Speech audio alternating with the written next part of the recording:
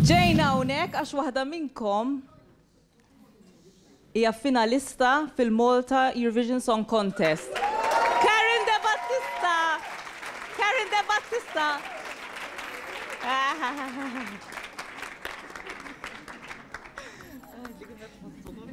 Eh, ma nistax nemmen, għas f-serba sena ma kon nistenni għadi. Issa tkun kan, minna. Għamil kanzunetta. All right. 哎。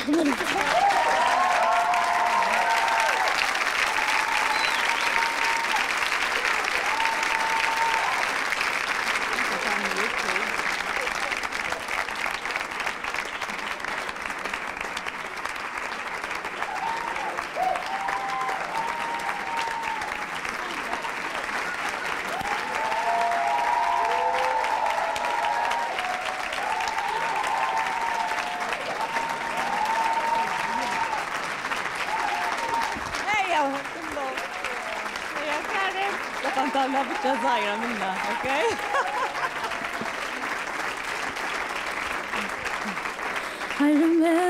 the day we met to play, nothing to say, still we found our way.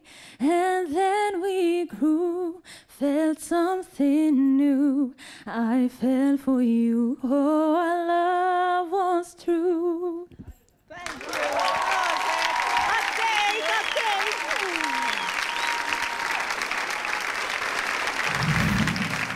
Dik kienet Kerim.